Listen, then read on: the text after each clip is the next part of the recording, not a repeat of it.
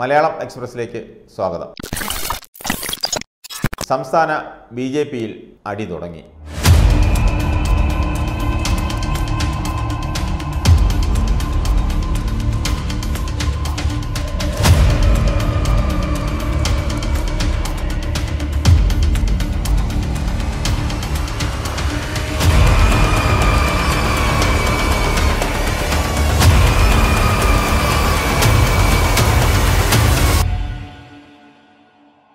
K സുരേന്ദ്രനെ സംസ്ഥാന പ്രസിഡന്റായി ബി ജെ പി കേന്ദ്ര നേതൃത്വം പ്രഖ്യാപിച്ചപ്പോൾ തന്നെ ഇവിടെ അസ്വാരസ്യങ്ങൾ തുടങ്ങിക്കഴിഞ്ഞു. സുരേന്ദ്രനോടൊപ്പം തന്നെ കേരള ബി ജെ പിയുടെ പ്രസിഡന്റായി പരിഗണിക്കപ്പെട്ടവരായിരുന്നു എ എൻ രാധാകൃഷ്ണനും എം ടി രമേശും. സുരേന്ദ്രനേക്കാൾ ഒട്ടും മോശമല്ല ഇവർ രണ്ടുപേരും പ്രവർത്തനത്തിൽ. എം ടി രമേശും എ എൻ രാധാകൃഷ്ണനും സുരേന്ദ്രനെ പ്രസിഡന്റായി പ്രഖ്യാപിച്ച പ്രഖ്യാപനം വന്നപ്പോൾ തന്നെ സുരേന്ദ്രന്റെ കീഴിൽ ജനറൽ സെക്രട്ടറിമാരായി ഇരിക്കാൻ താല്പര്യമില്ല അവർക്ക് കഴിയില്ല എന്ന് നേതൃത്വത്തെ അറിയിച്ചു കഴിഞ്ഞു. ഇവരോടൊപ്പം തന്നെ ജനറൽ സെക്രട്ടറി ആയിരുന്ന ശോഭാ സുരേന്ദ്രനിലേക്കാണ് ബി ജെ പിയിലെ എല്ലാ കണ്ണുകളും. ശോഭാ സുരേന്ദ്രൻ ബി ജെ പിയുടെ സംസ്ഥാന ജനറൽ സെക്രട്ടറിയായി കെ സുരേന്ദ്രന്റെ കീഴിൽ പ്രവർത്തിക്കുമോ ഇല്ലയോ എന്നാണ് എല്ലാവരും ഉറ്റുനോക്കുന്നത്. പക്ഷേ ശോഭാ സുരേന്ദ്രൻ ഇതുവരെ മനസ്സ് തുറന്നിട്ടില്ല. കെ സുരേന്ദ്രനെ ബി ജെ പിയുടെ സംസ്ഥാന പ്രസിഡന്റായി പ്രഖ്യാപിച്ചത് തന്നെ കടുത്ത മത്സരത്തിനൊടുവിലാണ്. പാനലിൽപ്പെട്ട മൂന്ന് പേരും M T Ramesh A N Radhakrishnan K Surendran. ഇവർ മൂന്ന് പേരും അവരുടേതായ സ്വാധീനങ്ങൾ കേന്ദ്രത്തിൽ ചെലുത്തി. പക്ഷേ നറുക്കു വീണത് കെ സുരേന്ദ്രൻ കെ സുരേന്ദ്രനെ ബി ജെ പിയുടെ സംസ്ഥാന പ്രസിഡന്റായി നിയോഗിച്ചാൽ അല്ലെങ്കിൽ വാഴിച്ചാൽ കേരളത്തിൽ ബി ജെ പി രക്ഷപ്പെടും എന്നാണ് കേന്ദ്ര നേതൃത്വത്തിന്റെ വിശ്വാസമെങ്കിൽ അത് നടക്കുമോ ഇല്ലയോ എന്ന് കണ്ടറിയണം. ബീഫ് കഴിച്ചിട്ട് ഉള്ളിയാണെന്ന് പറഞ്ഞ് തടിതപ്പിയതും ഇരുമുടിക്കെട്ട് വലിച്ചെറിഞ്ഞതിന് ശേഷം അത് പോലീസിന്റെ തലയിൽ കെട്ടിവെക്കാൻ ഒരുങ്ങിയതും ശബരിമലയിൽ വ്രതമെടുത്ത് പോകുന്ന വഴി ഹാൻസ് വായിൽ തിരികെ ചവച്ചതും ഉൾപ്പെടെയുള്ളത് ജനം മറന്നിട്ടില്ല. കേരള ജനത മറന്നിട്ടില്ല. ഇങ്ങനെയുള്ള ഉടായ്പ് പരിപാടികൾ നടത്തുന്ന കെ സുരേന്ദ്രൻ ബി ജെ പിയുടെ അധ്യക്ഷനായി വന്നാൽ കേരളത്തിൽ ബി ജെ പി രക്ഷപ്പെടുമെന്ന് കേന്ദ്ര നേതൃത്വം വിചാരിച്ചാൽ അത് നടക്കുമോ എന്ന് കണ്ടറിയേണ്ടത് തന്നെയാണ്. കെ സുരേന്ദ്രൻ വളർന്നു വരുന്ന ഒരു ചെറുപ്പക്കാരനാണ് യുവാവാണ്. മത്സരിച്ചിടത്തൊക്കെ നല്ല പോരാട്ടം കാഴ്ചവെച്ചയാളാണ്. തെരഞ്ഞെടുപ്പുകളിൽ മത്സരിക്കുന്നത് പോലെ പാർട്ടിയിൽ മത്സരിച്ച് അദ്ദേഹം പാർട്ടി പ്രസിഡന്റായി ജയിച്ചു. പക്ഷേ ഈ സുരേന്ദ്രൻ വന്നതുകൊണ്ട് കേരളത്തിൽ ബി ജെ പിക്ക് പ്രത്യേകിച്ച് ഗുണം വല്ലതും ഉണ്ടാവുമെന്ന് കണ്ടറിയണം.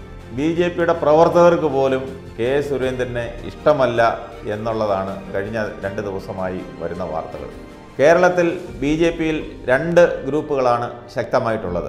അതിലൊന്നിന് നേതൃത്വം കൊടുക്കുന്നത് കേന്ദ്രമന്ത്രി വി മുരളീധരനും രണ്ടാമത്തെ ഗ്രൂപ്പിന് നേതൃത്വം കൊടുക്കുന്നത് കൃഷ്ണദാസുമാണ്. കൃഷ്ണദാസ് പക്ഷക്കാരാണ് എം ടി രമേശും എ എൻ രാധാകൃഷ്ണൻ ഉൾപ്പെടെയുള്ള നേതാക്കന്മാരും പാർട്ടിയിലെ ബഹുഭൂരിപക്ഷം പ്രവർത്തകരും.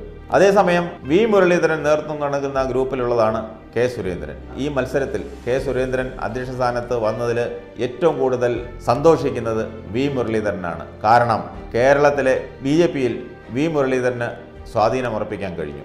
അതോടൊപ്പം കേന്ദ്രത്തിലും സംഘപരിവാറിന്റെ പോലും എതിർപ്പുകളും എല്ലാം അവഗണിച്ചാണ് ഇവിടെ കെ സുരേന്ദ്രനെ ബി ജെ പിയുടെ പ്രസിഡന്റായി കേന്ദ്രം നിയോഗിച്ചത്. അതിൽ ചില കളികളുണ്ട്. ഇവിടെ മുന്നോക്ക സമുദായമായ നായർ സമുദായത്തിൽ അല്പം സ്വാധീനം ചെലുത്താൻ കെ സുരേന്ദ്രനെ കൊണ്ട് കഴിയും എന്നുള്ളത് കേന്ദ്രത്തെ ആരോ ധരിപ്പിച്ചിരിക്കുന്നു. കെ സുരേന്ദ്രനെ ബി ജെ പിയുടെ സംസ്ഥാന പ്രസിഡന്റായി നിയമിച്ചത് കടുത്ത വെല്ലുവിളികൾക്കിടയിലാണെങ്കിലും ബി ജെ പിക്ക് ഇതുകൊണ്ട് രക്ഷപ്പെടാനാകും എന്നുള്ളൊരു കണക്കൂട്ടലാണ് കേന്ദ്ര നേതൃത്വം ഇതിലൂടെ തെളിയിച്ചത്.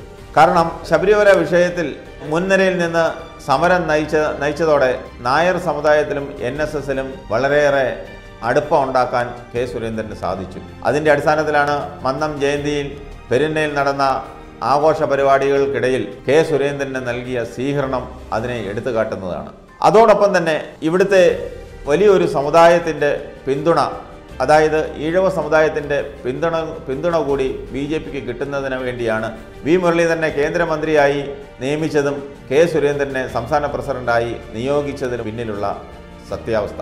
ഇതെല്ലാം മുൻനിർത്തിയാണ് കെ സുരേന്ദ്രനെ സംസ്ഥാന പ്രസിഡന്റ് ആക്കിയെങ്കിൽ വരാൻ പോകുന്ന രണ്ട് തെരഞ്ഞെടുപ്പുകൾ.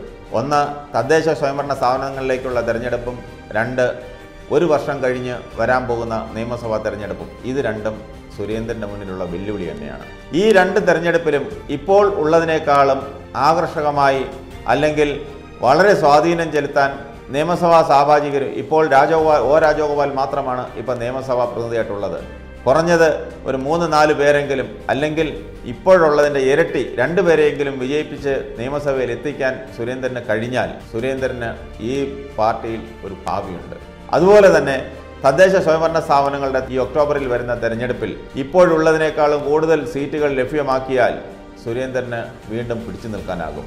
അങ്ങനെയെങ്കിൽ വരുന്ന ഒരു കേന്ദ്ര മന്ത്രിസഭയിൽ സുരേന്ദ്രനൊരു സ്ഥാനവും അതല്ലെങ്കിൽ അടുത്ത ഗവർണറായി പരിഗണിക്കാവുന്ന ഒരു സ്ഥാനവും സുരേന്ദ്രന് കിട്ടും എന്നുള്ളത് ഉറപ്പാണ് നമുക്ക് കാത്തിരുന്ന് കാണാം.